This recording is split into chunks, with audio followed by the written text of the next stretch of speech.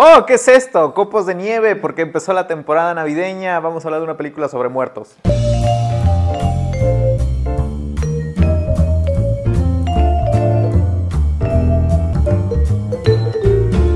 6 de junio de 1970, un artículo de Jean-Pierre Tadro aparecía en el periódico Le Devoir, que describía la recepción de la gente de Ted for Minds respecto a una nueva película de parte de Claude Jutra, con muchos de los ciudadanos que aparecían en ella entusiasmados y maravillados de haber experimentado algo tan misterioso como esto. Lo cual es muy interesante considerando que la comunidad de Ted for Minds en Canadá es una comunidad desolada por su trágico pasado remarcado por los efectos de la extracción de asbesto, pregúntale a tu abuelo qué es el asbesto y quizás te vaya a decir y también vas a ver que es muy tóxico. Esto significaba una gran negativa de salud para la mayoría de los varones de la comunidad y también para lo cual sería una de las comunidades más afectadas tras la crisis minera de 1950, en donde a pesar de haber sido de los primeros en establecerse como personas que buscaban comodidad y mejora de sus trabajos, fueron de los más apagados y con despidos masivos que no les dejaba cubrir su precaria salud.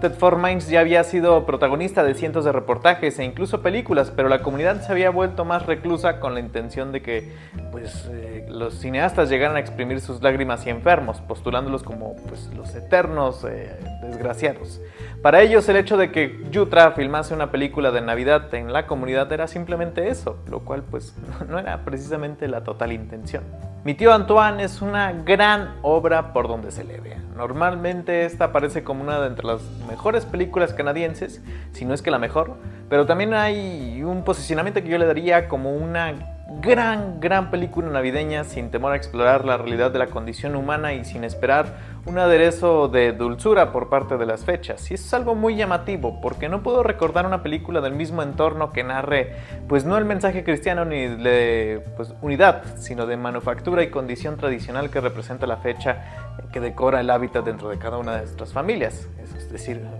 toda la tradición de poner los adornitos.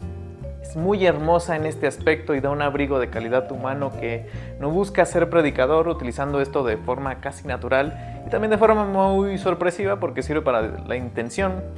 posterior de desdibujar lo que a veces resulta la banalidad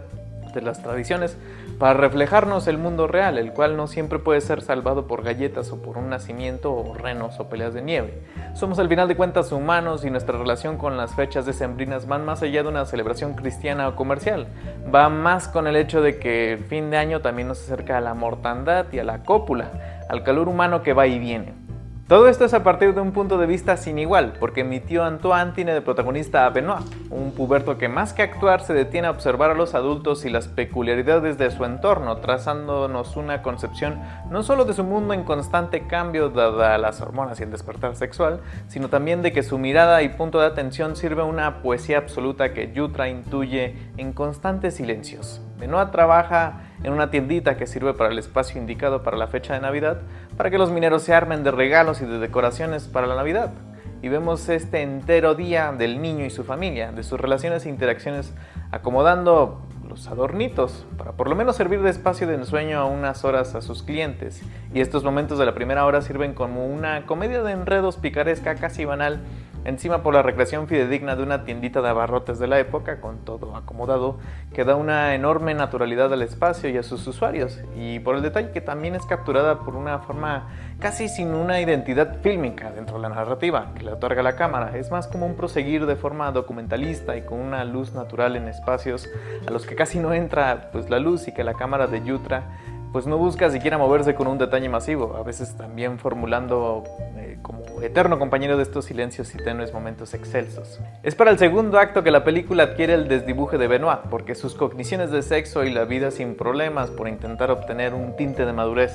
son encontrados con la realidad del entorno en donde vive. Yutra inyecta una crítica a la vida del minero precaria y olvidada por sus habitantes, y no solo para ellos, sino para toda la comunidad. Si antes los silencios imperaban una noción de poesía, aquí hay momentos entre la desolación de la nieve peligrosa, del atardecer de la tragedia y de un joven que descubre que sus héroes y sus familiares son fallidos, que viven una miseria sin felicidad y que si el entorno familiar es problemático cuando no lo parecía, pues ¿qué más le queda a este joven más que el dejarse llevar por una fiebre en uno de los pocos espacios eh, que sí es, ya no es natural, eh, que más que entretenerle, le vamos a entender como esta visión de entrega, eh, pues de madurez, de que ya ha abandonado esta concepción de la Navidad especial y de de esta inocencia. Lo cual me imagino que a todos nos ha pasado por lo menos una Navidad. Darnos cuenta de que el entorno y la calidad de nuestras familias a veces no es suficiente para evadir la realidad y recordarnos con fuerza lo banal del tiempo y las fechas, de conocidos o no, que se vuelve cíclico y que posiblemente despertemos o no queramos despertar de esto. Es, es muy fuerte esta realidad. Mi tío Antoine, a pesar de ser filmada con intenciones de estrenarse en Navidad de 1970, sería retrasada casi un año por la intromisión del Consejo Nacional de Filme Canadiense, la cual pues no le tenía mucha esperanza, veía qué cochinada es esta. Sobre todo por su rechazo en Cannes de ese mismo año y solo aprovechando pues la temporada de premios del año siguiente de septiembre, en donde fue un apaulante éxito, obteniendo el Hugo Dorado a Mejor Película y el Hugo de Plata a Mejor Guión en el Festival Cine de Chicago. En los premios de Canadá obtendría Mejor Director, Guión, Cinematografía, Actor para Jean Duchep y Actriz para Olivette Tibal, Los Tíos, Sonido y Música Original. Particularmente, pues la película era vista como una una forma de relato ajeno a las convenciones tradicionalistas de la industria y el éxito de mi tío Antoine a nivel mundial abrió pues, las puertas de Canadá como un espacio en donde grandes mentes se cosechaban. Después de todo es la película que abre los 70s, década en donde vendríamos eh, de venir constantes repertorios de ideas y géneros de directores y producciones y esta fue la punta de lanza. Y por lo tanto también es algo desconcertante conocer el olvido de esta película hasta que indagas la historia. Claude Yutra no vivió mucho tiempo, falleciendo en 1986 consecuencia de un grave Alzheimer que lo hizo abandonar su hogar y terminar ahogado en un río. Una pérdida enorme para la industria de Canadá y de inmediato la figura de Yutra era puesta en un estaño de imponente realizador y honorario, con varios premios nombrados en su honor